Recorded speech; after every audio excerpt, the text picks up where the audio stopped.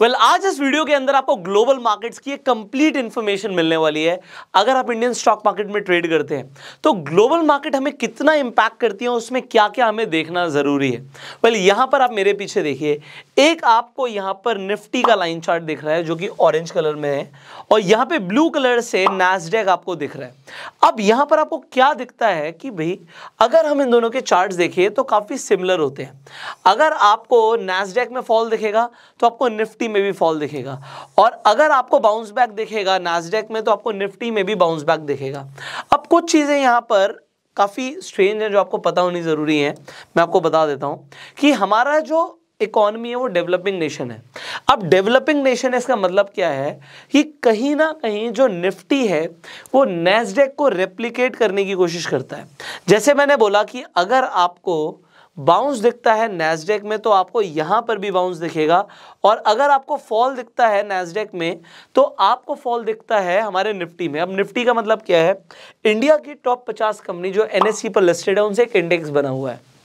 Similarly जो Nasdaq है, वो यूएसए का इंडेक्स है, जिसके अंदर ज़्यादातर जो बड़ी आईटी कंपनीज़ हैं, वो रजिस्टर्ड है। अब यहाँ पर हमें देखने वाली बात क्या है कि जैसे मैंने बोला कि अगर आपको फॉल दिखता है नेस्डेक में तो उसी तरीके से आपको निफ्टी में भी फॉल दिखता है। बट कभी कभी क्या होता है कि हमें पहले पता लग जाता है नेस्डेक से कि निफ्टी में क्या हो सकता है, क्योंकि मार्केट्स एक दूसरे के हिसाब से ज़्यादातर टाइम हर बार नहीं, चलती हैं। मतलब ऐसा भी हो सकता है कि नेस्डेक में फॉल आ रहा हो, निफ्टी में ना आए बट आपको ज़्यादातर ऐसा दिखेगा कि अगर नाजडेक में कुछ बड़ा हुआ है, बड़ी गिरावट आई है, बड़ा उछाल आया है तो वो निफ्टी में भी दिखेगा। और जैसे मैंने आपको यहाँ पे एक रिप्रेजेंटेशन दी है कि जैसे जैसे हमारा नेस्डेक में हो रहा है वैसे वैसे निफ्टी में होता है। अब यहाँ पर चीज़ क्या है कि अगर आप इंडियन स्टैंडर्ड टाइम के हिसाब से देखें तो हमारी जो मार्केट है वो आपको सुबह नौ बजे से सवा नौ बजे ट्रेडिंग शुरू हो जाती है, साढ़े तीन बजे बंद हो जाती है। बट उसके बाद अगर आप इंडिया के हिसाब से देख रहे हैं तो नैसडेक शाम के सात बजे शुरू होता है और डेढ़ बजे जाके नैसडेक खत्म होता है। तो डेढ़ बजे तक जहाँ पर नैसडेक में ट्रेडिंग चल रही थी तो अब है क्या चीज़? अब हमारी मार्केट अगले दिन खुलेगी। अगर आप यहाँ पर वर्ल्ड मैप देखें तो देखिए, सूरज कहाँ से निकलता है? सूरज निकलता है आपका जापान से। अब जापान की मार्केट ओपन होती है, फिर सिंगापुर की ओपन होती है, फिर यहाँ पर चाइना की, इंडिया की ओपन होगी, फिर यूके की ओपन होगी और एंड में जाकर आप देखते हैं अमेरिकन मार्केट्स ओपन होती हैं। तो अब ये ग्लोबल मार्केट्स अलग अलग टाइमिंग पर चल रही हैं। इससे आप पर क्या इम्पैक्ट है? कभी कभी क्या होता है कि आप देखेंगे कि नैसडेक में उछाल आना शुरू हो गया। तो निफ्टी में ज़रूरी नहीं है कि सेम डे उछाला है हो सकता है नेक्स्ट डे है उसके नेक्स्ट डे है बट इससे आप प्रिपेयर्ड रह सकते हो कि अगर ग्लोबल मार्केट में कुछ बड़ा हुआ है तो निफ्टी में भी हो सकता है। अब ग्लोबल मार्केट्स को आप एक बार में कैसे ट्रैक कर सकते हैं मैं आपको दिखाना चाहूँगा। यहाँ पर आ, हम आ जाते हैं मनी कंट्रोल की वेबसाइट पर।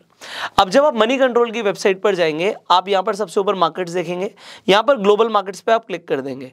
आपके सामने ग्लोबल मार्केट्स आ गई अब आपको सारी मार्केट्स देखने की ज़रूरत नहीं है।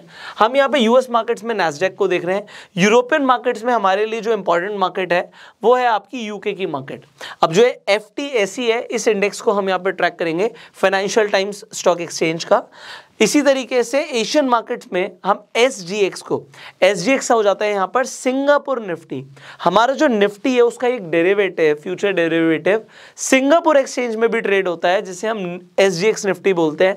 इसके बारे में भी अभी आपको बताने वाला हूँ। बाकी आप चाहें तो अभी इग्नोर कर सकते हैं। यहाँ पर अब हमने तीन इंडेक्स की बात करी है। एक नेस्डेक की, एक एफटीएससी की और एस निफ्टी की। अब यहाँ पर पहले हम एस निफ्टी को समझ लेते हैं। अगर हम यहाँ पर सिंगापुर के निफ्टी की बात करते हैं थोड़ा सा अलग है। थोड़ा सा अलग क्यों है? क्योंकि यहाँ पर जब हम एस डी एक्स निफ्टी की बात कर रहे हैं तो हमारी मार्केट तो तकरीबन हमारे लिए सवा नौ बजे ट्रेडिंग शुरू हो रही है, नौ बजे खुल रही है।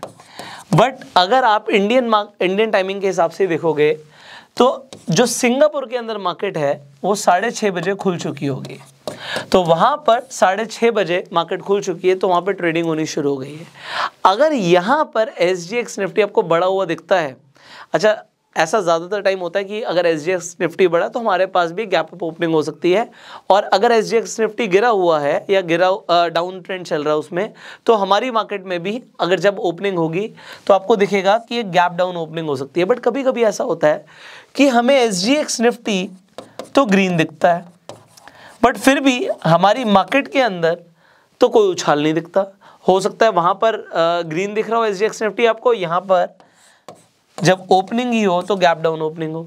तो इसका मतलब क्या होता है? इसे समझ लेते हैं। हमारी मार्केट में जब आप देखते हैं कि 9 बजे से लेकर साढ़े तीन बजे तक ट्रेडिंग होती है, सिंगापुर के हिसाब से अगर आप देखेंगे, और इंडियन टाइमिंग के हिसाब से मैं आपको बता रहा हूँ, साढ़े छः बजे से लेकर तीन बजकर चालीस मिनट तक पहला सेशन होता है। ये हमारा फ़र्स्ट सेशन है। और फिर दूसरा सेशन शुरू होता है चार बज के दस मिनट से लेकर रात के साढ़े ग्यारह बजे तक।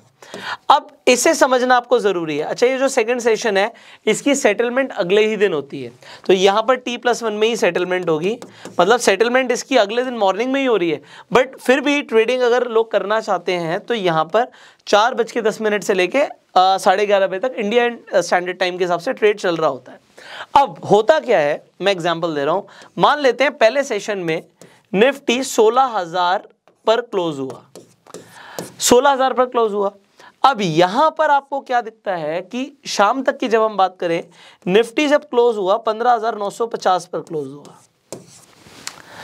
अब 50 पॉइंट गिर गया। जब अगले दिन साढ़े छह बजे मार्केट खुली तो वो मार्केट आपको खुलती हुई दिखी 16,000 पर ही। तो अगर वो 16,000 पर ही खुली तो अब क्या हुआ? मार्केट जहाँ थी वहीं पर आ गई। बट आपको क्या दिखेगा? जब आप मनी कंट्रोल की वेबसाइट पर जाएँगे तो आपको दिखेगा आप सुबह सुबह देख रहे होंगे। आप ट्रेड करने के लिए मान लेते हैं नौ बजे से पहले आठ बजे भी एनालिसिस करेंगे। तो आठ बजे आपको एस डी एक्स निफ्टी यहाँ पर मान लेते हैं, आपको जो चेंज दिखेगा वो प्लस में दिखेगा। अभी एग्ज़ाम्पल के लिए यहाँ पे माइनस में है। तो आपको ये भी देखना पड़ेगा कि पहले सेशन में जो निफ्टी है वो कहाँ पर क्लोज हुआ था और दूसरे सेशन में कहाँ तक क्लोज हुआ। तो ये परसेंटेज मैटर कर सकती है बट आपको थोड़ा सा और डेप्थ में समझना पड़ेगा।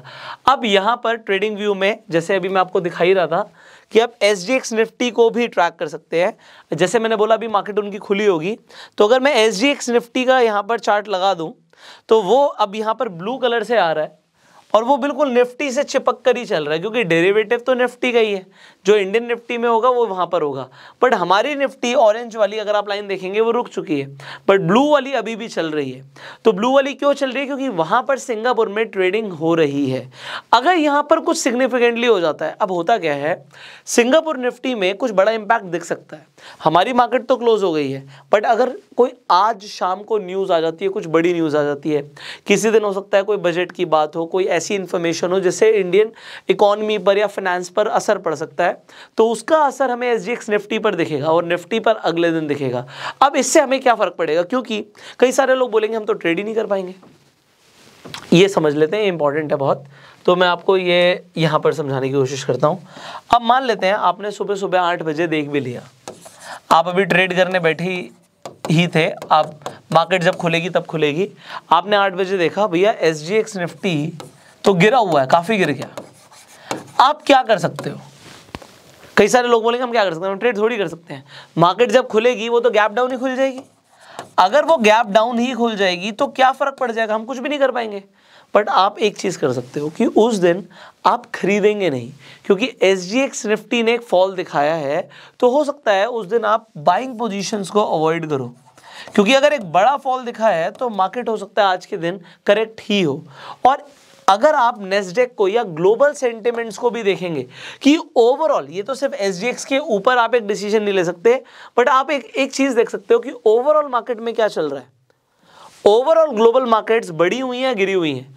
अब यहाँ पर इस एग्ज़ाम्पल को देखिए, अगर ओवरऑल मार्केट्स बढ़ी हुई दिखती हैं आपको, कि ओवरऑल मार्केट बढ़ रही है तो निफ्टी में क्या हो सकता है? निफ्टी भी आज बढ़ सकता है।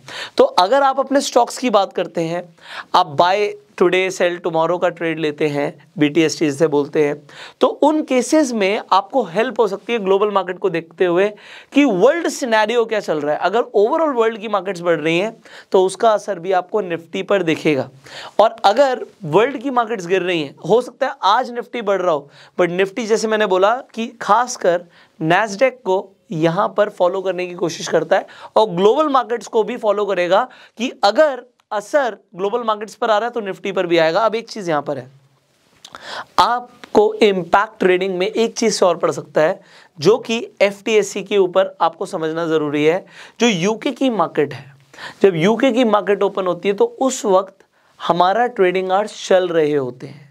तो ये एक ऐसी मार्केट है, जब हमारे खुद की इंडियन मार्केट चल रही होती है तो ये बीच में ओपन हो रही है। तो इससे हो क्या सकता है कि अगर यहाँ पर एफ़ बहुत ज़्यादा गैप डाउन ओपन हो जाता है तो हो सकता है, हो सकता है, हर हर बार नहीं होगा।